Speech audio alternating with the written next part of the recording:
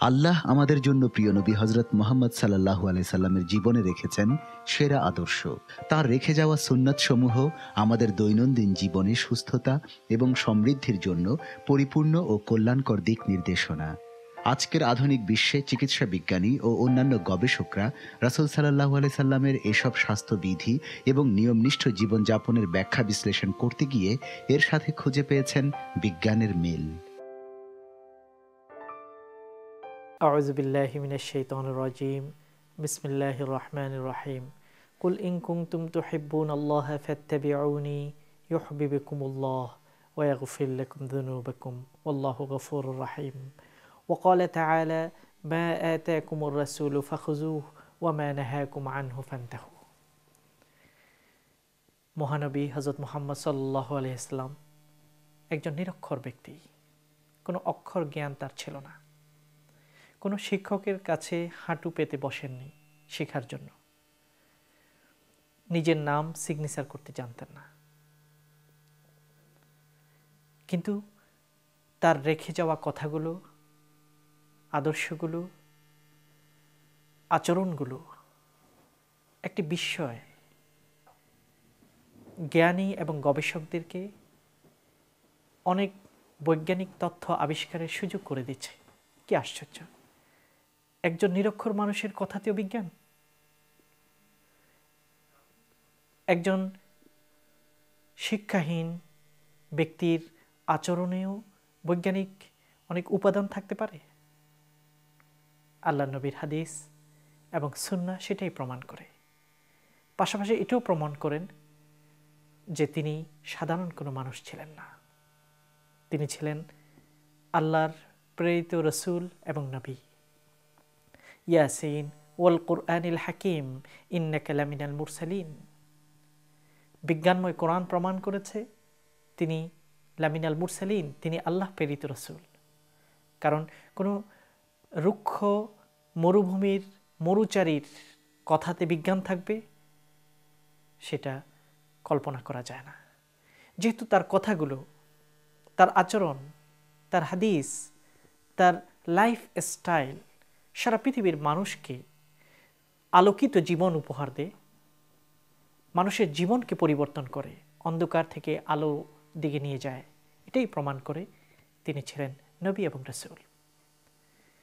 আজকের পৃথিবীতে খাঁটিভাবে কোনো মানুষকে মানুষ ভালো যদি বাসে, তাহলে তার তালিকায় প্রথমে যার নাম আসবে তিনি হবেন মোহাম্মদুর রসুল্লাহ সাল্লাহ আলিয়াল্লাম কোটি কোটি মানুষ তার জন্য জীবন উৎসর্গ করে দিতে প্রস্তুত। তার আদর্শকে মনে প্রাণে গ্রহণ করে। কেন? কারণ তিনি আল্লাহ রসুল। তিনি সাধারণ কোনো মানুষ ছিলেন না।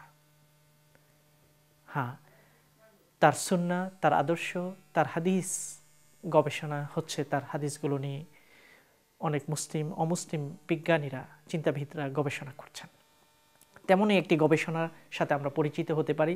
সায়েন্স অ্যান্ড সুন্না দ্য জেনেটিক কোড এই শিরোনামে একটি প্রবন্ধ লিখেছেন ডক্টর ইব্রাহিম বি সৈয়দ।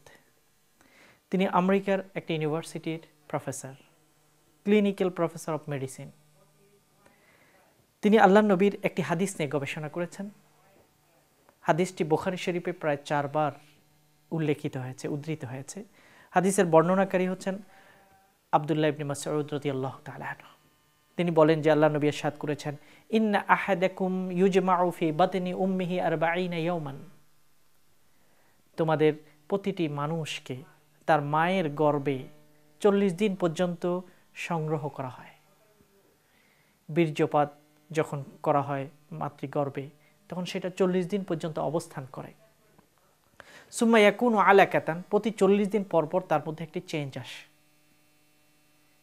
বীর্যটি রূপান্তরিত হয়, রক্ত জমাত বাদা রক্তে আলাকা, ইমব্রায়ু হয়। এরপর সুম্মা ইয়াকুন মুদগাতান, সেটা কিছুটা গোস্তের আকার ধারণ করে। সেই পর্যায়ে আল্লাহ পাক সুম্মাইয়া বাসুল্লাহ ইলাইহিম মালিকান, মালাকান একজন ফেরেস্তা আল্লাহ প্রেরণ করেন সেই সময়।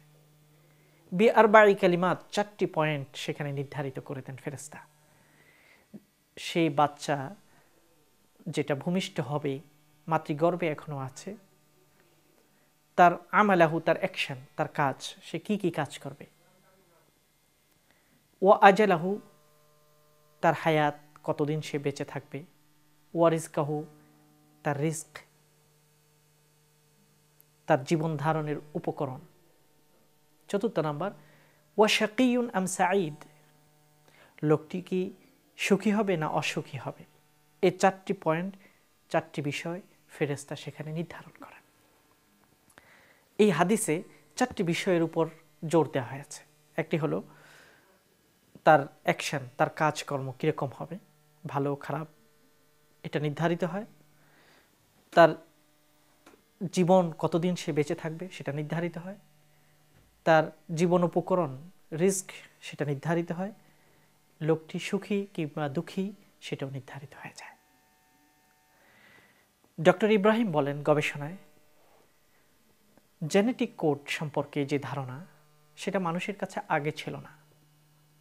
উনিশশো আষট্টি ইংরেজিতে জিন আবিষ্কার এবং সেগুলো নিয়ে গবেষণা করার কারণে তিনজন বিজ্ঞানীকে নোবেল পুরস্কার দেওয়া হয়। তখন থেকে মানুষ, বিজ্ঞানীরা, চিকিৎসা বিজ্ঞানীরা বিশেষ করে মানুষের জিন নিয়ে, ডিএনএ ইত্যাদি নিয়ে গবেষণা করছে। এক পর্যায়ে তারা এই সিদ্ধান্তে পৌঁছে মানুষের জিনের ভিতরে, মানুষের শরীরে যে জিন থাকে, অনেকগুলো জিন থাকে, মানুষের বিভিন্ন রোগগুলোকে সেটা বহন করে। সেটাকে যদি চিহ্নিত করা যায়, অপসারণ করা যায়, তাহলে সেই রোগ থেকে মানুষকে বাঁচানো যায়।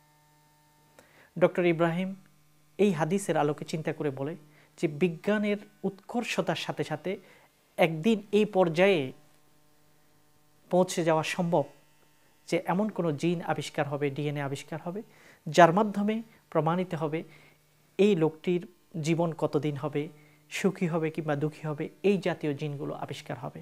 কারণ এই হাদিস চোদ্দশো বছর আগেই এই ধরনের একটি পথ, পথের দিকে মানুষকে দিকে নির্দেশনা দান করছে। সুবাহান আল্লাহ আল্লাহ নবীর পক্ষে এই কথাগুলো কি করে বলা সম্ভব ছিল? যেটা মাত্র এই শতাব্দীতে আবিষ্কৃত হচ্ছে? নিশ্চয় আল্লাহ পাকের পক্ষ থেকে যিনি মানুষকে সৃষ্টি করেছেন, চিকিৎসা বিজ্ঞানকে যিনি সৃষ্টি করেছেন, মানুষের ইন্টেলেক্ট বুদ্ধিকে যিনি সৃষ্টি করেছেন, তারই দেয়া ওহিরেই প্রতিফলন নিশ্চয়। তিনি অবশ্যই আল্লাহ রসুল। মহানবীর প্রদর্শিত জীবন ব্যবস্থা, আচরণ সব কিছুতেই আমাদের জন্য রয়েছে কল্যাণ। এ কারণে আল্লাহ পাক এরশাদ করছেন, কুল ইনকুন্দুম তো হেব্বুন আল্লাহ ফেত্তাবিআউনি ইয়হবিবিকুমুল্লাহ ওয়াগফিল্লাকুম জুনুবাকুম হে নবী, আপনি ঘোষণা করুন, আল্লাহর পথ পেতে হলে, আল্লাহর ভালোবাসা পেতে হলে তাহলে নবীকে অনুসরণ করতে হবে, তার পদাঙ্ক অনুসরণ করতে হবে। তিনি যা কিছু করেছেন, সেই পদ্ধতিতে জীবন চালনা করার নামেই হলো সুন্নাত। অন্য আয়াত আল্লাহ পাক এরশাদ করছেন, মা আয়াত কুমর রসুল ফাখুজু ওয়ামা নেহা কুম আনহু ফেন্তাহু। আমার রসুল যা কিছু করেছে, তা তোমরা করো। যা থেকে তোমাদেরকে বাধা দিয়েছে, তা থেকে বিরত থাকো। এখানেই তোমাদের কল্যাণ। অন্য আয়াত আল্লাহ তালা ইরশাদ করছেন সুর আল আজাব লাকদ ক্যান লাকুম ফি রাসূলিল্লাহি উসওয়াতুন হাসানা লিমান ক্যান ইয়ারজুল্লাহ ওয়াল ইয়াউমাল আখির। যারা আল্লাহকে বিশ্বাস করে, পরকালকে বিশ্বাস করে, তাদের জন্য আমার রসুলে উত্তম আদর্শ রয়েছে। মানুষের শারীরিক সুস্থতার জন্য সবচেয়ে বড় একটি প্রয়োজন হলো তার ওজনকে ঠিক রাখা, ডায়েট কন্ট্রোল করা, খাবারের পরিমাণ, খাবারের পদ্ধতি ইত্যাদি সবগুলোর মধ্যে সামঞ্জস্য বজায় রাখা, ভারসাম্য রক্ষা করা। আল্লাহ নবী তার উম্মতকে এই ব্যাপারে সুন্নত দিতে, আদর্শ দিতে ভুলেননি। আল্লাহ নবীর জীবন আদর্শ যদি আমরা পর্যালোচনা করে দেখি, তাহলে দেখতে পাই মানুষের শরীরের গঠনকে ঠিক রাখার জন্য, নানা ধরনের রোগের ঝুঁকি থেকে বাঁচার জন্য যেই পদ্ধতিতে খাওয়ার দরকার, সেই পদ্ধতিটি তিনি খেতে আমাদেরকে নির্দেশ দিয়েছেন। এ ব্যাপারে ডক্টর ওয়ালিদ আবু হেন্দি একজন চিকিৎসা বিজ্ঞানী তিনি একটি গবেষণা পেশ করেছেন যে মানুষ কীভাবে তাদের শরীরের ওজনকে কম রাখতে পারে। থ্র দ্য সুন্না সুন্নার মাধ্যমে সুন্নাকে ফলো করার মাধ্যমে। এ সম্পর্কে তিনি বিস্তারিত বর্ণনা করেছেন। তিনি বলেন, প্রথমত, আল্লাহ নবী খাবারের পরিমাণ সম্পর্কে আমাদেরকে সুন্দর একটি আদর্শ দিয়েছেন।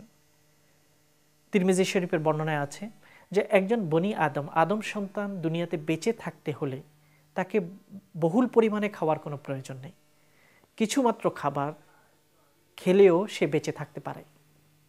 যদি তার চেয়েও বেশি খেতে হয়, তাহলে অবশ্যই যেন তার পেটকে তিনটি ভাগে ভাগ করে।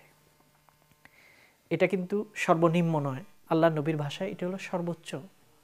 সর্বনিম্ন হলো লোকাইমাতুন, কয়েক গ্রাস খেয়ে বেঁচে থাকা। আর সর্বোচ্চ হলো তিন ভাগে পেটকে বিভক্ত করা। এর চেয়ে যেন বেশি করা না হয়। আল্লাহ নবী সতর্ক করেছেন। পেটের এক ভাগ পরিমাণ থাকবে খাবারের জন্য। দ্বিতীয় ভাগ থাকবে পানীয়ের জন্য। তৃতীয় ভাগ থাকবে খালি শ্বাস প্রশ্বাস সহজে গ্রহণ করার জন্য।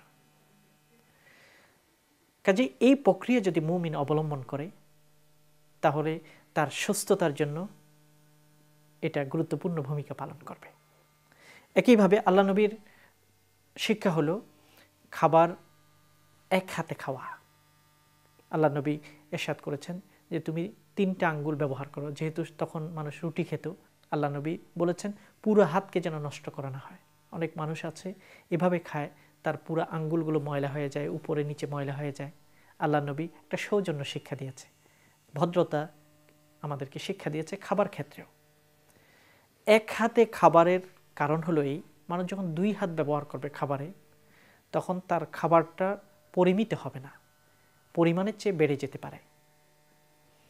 আল্লাহ নবী আরও বলেছেন, তুমি যখন খাবার নেবে, তখন খাবারকে ভালো করে চেক করে নাও, দেখে নাও, যাতে খাবারে কোনো ময়লা কিংবা জীবাণু ইত্যাদি না থাকে. খাবারের ক্ষেত্রে আল্লাহ নবীর আরও একটা নির্দেশনা হলো, বসাকে চেঞ্জ না করা, বসার পজিশনকে চেঞ্জ না করা। এটা কিন্তু গুরুত্বপূর্ণ একটা বিষয়। মানুষ যখন খাবারের এক খাবারে কয়েক পজিশনে বসে, তখন বেশি খাবার সে খেয়ে নেবে। কিন্তু একই পজিশনে বসে খাবার শেষ করলে তাহলে ওভার ইটিং হবে না। এভাবে আল্লাহ নবীর প্রতিটি শিক্ষাতে আমাদের জন্য চমৎকার আদর্শ রয়েছে। আল্লাহ নবী আমাদেরকে পানি পান করার শিক্ষা দিয়েছেন, তুমি পানি ডান হাতে নাও। মুখে দেওয়ার আগেই তুমি পানিটা একটু চেক করে নাও, পানিতে কোনো জীবাণু কিংবা ময়লা আছে কিনা? এরপরে আল্লাহ নবী বলেছেন, প্রথমবারে তুমি হালকা একটু পানি ছেড়ে দাও। দ্বিতীয়বারে আরেকটু বেশি খাও। তৃতীয়বারে আরেকটু বেশি খাও। এখানে দেখুন আল্লাহ নবীর শূন্যটা কত সাইন্টিফিক প্রথমবার একজন মানুষ, পিপাসিত মানুষ যখন প্রথমবারে ঢোকঢোক করে পানি ছেড়ে দেবে, হতে পারে শুকনা গলায় তার পানিটা আটকে যেতে পারে। আল্লাহ নবী তাই বলে, প্রথমে পানি দিয়ে তুমি হালকা করে নাও, গলাকে ক্লিয়ার করে নাও। দ্বিতীয় পর্যায়ে আরেকটু দাও এবং তৃতীয় পর্যায়ে আরও বেশি দাও। এতে করে তোমার পানি পান করাটা সুবিধাজনক হবে। ভালো হবে এবং তুমি তৃপ্ত হতে পারবে। এভাবে প্রতিটি ক্ষেত্রে আল্লাহ নবী সুন্নতগুলো ছিল সাইন্টিফিক মানুষের জন্য কল্যাণজনক, যেটা মানুষ সেই যুগে ভাবতেও পারত না। মহানবীর গুরুত্বপূর্ণ আরেকটি সুন্নাত হলো মিসওয়াক। মিসওয়াক বলা হয় গাছের ঢাল কিংবা শিকড় দিয়ে দাঁত পরিষ্কার করা। মিসওয়াক মানুষের জন্য অত্যন্ত উপকারী। আল্লাহ নবী এই সুন্নতটির উপর এত গুরুত্ব আরোপ করেছেন। তিনি বলেছেন, লাউলা আশুক্কা আলা উম্মতি লা আমার তুহুম বিসওয়াকে আইন্দাকুল্লি সালাত। আমার উম্মতের কষ্ট হয়ে যাবে, এটা যদি আমি না ভাবতাম, তাহলে প্রতি নামাজের সময় মেসওয়াক করাকে আমি ফরজ করে দিতাম কম্পালসারি করে দিতাম। মেসওয়াকের উপকারিতা কি? বিভিন্ন হাদিসে অনেক অনেক উপকারিতা বর্ণনা হয়েছে। দাঁতের জন্য খুবই উপকারী, দাঁতের মাড়ির জন্য খুবই উপকারী আল্লাহ নবী বলেছেন, তুমি মেসওয়াক করো, আল্লাহ সন্তুষ্ট হবে, আবার তুমি অনেক রোগ থেকে বেঁচে যেতে পারবে। এ ব্যাপারে মেসোয়াকের ব্যাপারে আধুনিক অনেক গবেষণা হয়েছে।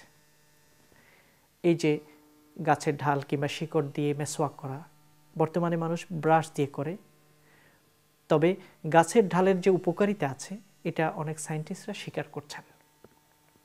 এ ব্যাপারে পাকিস্তানে একটি গবেষণা হয়েছে, উর্দু ভাষায় একজন চিকিৎসাবিদ, তিনি দুই খণ্ডে একটি গবেষণা করেছেন, অত্যন্ত মূল্যবান একটি গবেষণা। যার শিরোনাম হলো সুন্নতে রসুল আউর জদিদ সায়েন্স, মহানবীর সুন্নত এবং আধুনিক বিজ্ঞান।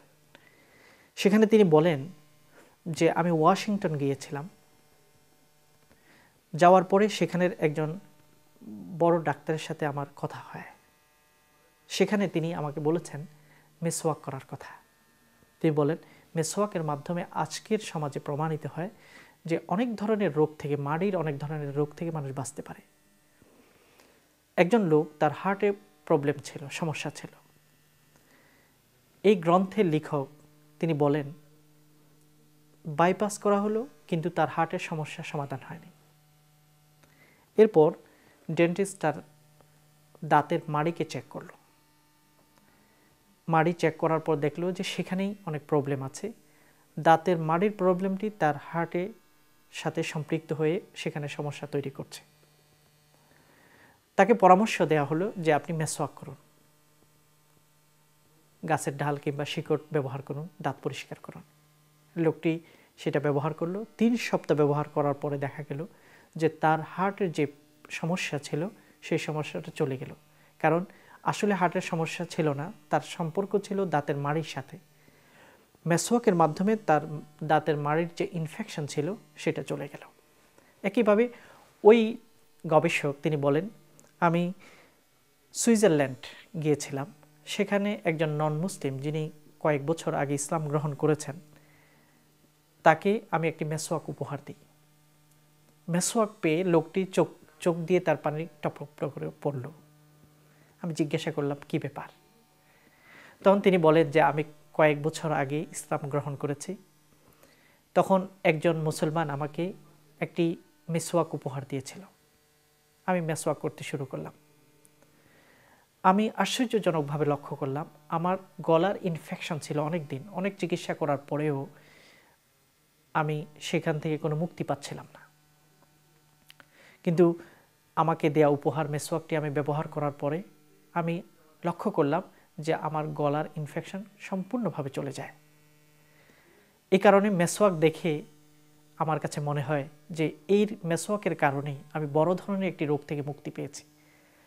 কাজেই মেসোয়াক দেখে আমি আবেগ তাড়িত হয়েছি। আসলেই আল্লাহ নবীর এই সুন্নতগুলোতে অবশ্যই মানব জাতির জন্য কল্যাণ আছে। আল্লাহ নবী কখনো মেসোয়াক ছাড়তেন না। রাতের বেলায় তিনি মেসোয়াক করতেন। ডাক্তাররা পরামর্শ দেন শোয়ার আগে মেসওয়াক করার জন্য। অথচ আল্লাহ নবী নিজেও এই আদর্শ আমাদেরকে অনেক আগেই শিক্ষা দিয়েছেন। মৃত্যুর বিছানায় আল্লাহ নবী যখন শোয়া ছিলেন খুবই দুর্বল হয়ে পড়েছিলেন, নিজে মেসওয়াক করার কোনো ক্ষমতা ছিল না। হজরত আয়েশা রদি আল্লাহ তালাকে নির্দেশ দিলেন হজরত আয়েশা দাঁত চাপিয়ে আল্লাহ নবীকে মেসোয়াক করে দিয়েছেন। অর্থাৎ মৃত্যুর বিছানায়ও আল্লাহ নবী মেসোয়াককে ছাড়েননি। কাজেই এই সুন্নতটি আমরা গ্রহণ করার চেষ্টা করব। এত বড় একটা নিয়ামত আল্লাহ পাক আমাদেরকে দিয়েছেন। এত সুন্দর একটা ব্যবস্থা যেটা আমাদের মাড়ির জন্য কল্যাণ বয়ে আনতে পারে, আমাদেরকে নানা ধরনের রোগ থেকে মুক্তি দিতে পারে। আল্লাহ নবীর এই সুন্নত আমরা ছাড়ব না। মহানবীর প্রতিটি সুন্নতে আমাদের জন্য কল্যাণ আছে। গবেষকরা সেগুলো বের করছেন। গবেষণা হচ্ছে। ইংরেজিতে একটি বই আপনি খুঁজে পাবেন, দ্য সায়েন্স অ্যান্ড দ্য সুন্না রচনা করেছেন মোহাম্মদ আব্দুল মান্নান। সেখানে আল্লাহ নবীর সুন্নতগুলো নিয়ে পুঙ্খানুপুঙ্খ পর্যালোচনা করেছে। এর ভিতরে যে কল্যাণকারিতা আমাদের জন্য রয়েছে সাইন্টিফিক ফ্যাক্টসগুলো আছে, সেগুলো তারা আবিষ্কার করছেন। বৈজ্ঞানিক এই আবিষ্কারগুলোর আগেও একজন মুসলিম হিসেবে আমরা বিশ্বাস করি যে প্রতিটি শূন্যতে আল্লাহ পাক আমাদের জন্য আল্লাহ নবীর মাধ্যমে কল্যাণ প্রেরণ করেছে। কিন্তু এইসব বৈজ্ঞানিক তথ্যগুলো, গবেষণাগুলো আমাদের সেই ইমানকে আরও সুদৃঢ় করে দিচ্ছে। আল্লাহ নবীর একটি গুরুত্বপূর্ণ সুন্নাত হলো নিজের রাগকে নিয়ন্ত্রণ করা। একজন লোক এসে আল্লাহ নবীকে বলল, ইয়া রসুল্লাহ আউসিনী, আমাকে একটু উপদেশ দিন। আল্লাহ নবী তাকে বললেন, লা তাগদব, তুমি রাগ করো না। লোকটি আবার বলল, আরেকটি উপদেশ দিন। আল্লাহ নবী পুনরায় আবার বললেন, লা তাখতাব, রাগ করো না। তিনবার আল্লাহ নবী উপদেশ দিলেন, লা তাখতাব। একইভাবে তিনি বললেন, লাইসা শাদীদু বিসরাতি ওয়া ইন্নামা শাদীদুল্লাযী ইয়ামলিকু নাফসাহু ইনদাল গাদাব। কুস্তি ধরে কাউকে কপোকাত করার মাধ্যমে শক্তির প্রমাণ ঘটে না। শক্তিশালী ওই ব্যক্তি যে ব্যক্তির রাগের সময় নিজেকে নিয়ন্ত্রণ করতে পারে। গবেষকগণ বলছেন, মানুষের রাগ নিয়ন্ত্রণ গুরুত্বপূর্ণ ভূমিকা রাখতে পারে মানুষের সুস্বাস্থ্যের জন্য। মানুষের হার্টের উপর চাপ পড়ে, ডায়াবেটিক বেড়ে যায়, ব্লাড প্রেশার বেড়ে যায়, ইত্যাদি যে নানা রকম সমস্যা হয়, তার পিছনে রাগ ভূমিকা রাখে। রাগকে যখন মানুষ নিয়ন্ত্রণ করতে পারে, এই ধরনের সমস্যাগুলো থেকে বাঁচা যায়। আর আল্লাহ নবী ওই সমস্যাগুলো থেকে বাঁচার জন্যই আমাদেরকে শিক্ষা দিয়েছে কীভাবে রাগকে নিয়ন্ত্রণ করতে হবে। তার ভাষায়, তোমার যখন রাগ এসে যায়, তুমি অজু করে ফেলো। কারণ রাগটা হলো আগুন ধরনের। আগুনকে নিবাতে হয় পানি দিয়ে, তুমি অজু করে নাও। যে অবস্থায় তোমার রাগ আসে যায় তুমি তোমার অবস্থানকে পরিবর্তন করে নাও। যখন তুমি বসা থাকবে, দাঁড়িয়ে যাও। আর আল্লাহর কাছে দোয়া করো আউজুবিল্লাহিমিনের শৈতানের রাজিম। দেখুন, কি সুন্দরভাবে আল্লাহ নবী রাগকে নিয়ন্ত্রণ করার শিক্ষা দিয়েছেন। কোরআনে কেরিমেও রাগ নিয়ন্ত্রণের কথা আছে। যারা রাগকে নিয়ন্ত্রণ করতে পারবে, আল্লাহ পাক বলেছেন, তারাই আমার প্রিয় বান্দা, তারা ভালো মানুষ। তাদের জন্য আমি জান্নাত নির্মাণ করছি, যেই জান্নাতের পাদদেশে নদী প্রবাহমান হবে। নদীর পাশে জান্নাত, বাগান, বাগানময় বাড়ি তাদের জন্য আমি নির্মাণ করছি। কেন এতে গুরুত্ব আরোপ করা হয়েছে? কারণ এর ভিতরেই মানুষের স্বাস্থ্যের কল্যাণ রয়েছে। দাড়ি রাখা সকল নবী রাসুলের সুন্নত। একটি গবেষণা আমেরিকান একটি ইউনিভার্সিটি হয়েছে, একজন পুরুষ যখন দাড়ি রাখে, তার অনেকগুলো উপকারিতা তারা বের করেছে, গবেষণা করেছে। মহিলাদের কাছেও একজন দাড়িযুক্ত ব্যক্তিকে পৌরসিকভাবে তারা গ্রহণ করতে খুবই স্বাচ্ছন্দ্য বোধ করে, যেটা দাড়িহীন মানুষের মধ্যে হয় না। এখানে দাড়িগুলো শেপ করার মাধ্যমে অনেকগুলো জিনের ক্ষতি হয়। এই সকল গবেষণা প্রমাণ করে যে নবীর কোনোটি সুন্নত মানুষের অকল্যাণ সাধন করে না। প্রতিটি সুন্নতে মানুষের কল্যাণ আছে। আমরা যতই সুন্নত মতো জীবন যাপন করতে পারব, আমাদের মেন্টাল স্বাস্থ্য মেন্টাল হেলথ শারীরিক স্বাস্থ্য, পারিবারিক জীবন, সর্বক্ষেত্রে শান্তি নেমে আসবে। আমাদের ইমানকে বৃদ্ধি করার জন্য, সুন্নতের প্রতি আকর্ষণকে বাড়ানোর জন্য এই গ্রন্থগুলো আমাদের পড়ে দেখা দরকার। যেসব গ্রন্থগুলো অনেক গবেষণার মাধ্যমে প্রমাণ করছে যে মহানবীর প্রতিটি শূন্যতে আছে সাইন্টিফিক ফ্যাক্টস বৈজ্ঞানিক চিন্তাধারা কোনো সুন্নাত অবৈজ্ঞানিক নয় কিংবা বিজ্ঞান বিরোধী নয়। নিরক্ষর কোনো মানুষের পক্ষে এই ধরনের বিজ্ঞানময় জীবনধারা উপহার দেওয়া সম্ভব ছিল না। এটা একমাত্র এই জন্যই সম্ভব হয়েছে, তিনি কোনো সাধারণ মানুষ ছিলেন না। বিজ্ঞানের যে ফলগু ধারা প্রবাহমান সমুদ্র সেই সমুদ্রের সাথে তার জ্ঞানের সম্পর্ক ছিল। বিজ্ঞানের যিনি স্রষ্টা, সেই স্রষ্টার সাথে তার সম্পর্ক ছিল। আর সেই বিজ্ঞানের মহা সমুদ্র থেকেই মানব জাতিকে তিনি উপহার দিতে পেরেছেন। সুন্নাত, হাদিস এবং সুন্দর জীবনধারা। মহান রবুল আলমিন আমাদেরকে আল্লাহ নবীর প্রদর্শিত প্রতিটি সুন্নাতকে বাস্তবায়ন করার, গ্রহণ করার, বুঝার তৌফিক দান করুন। আল্লাহ আমি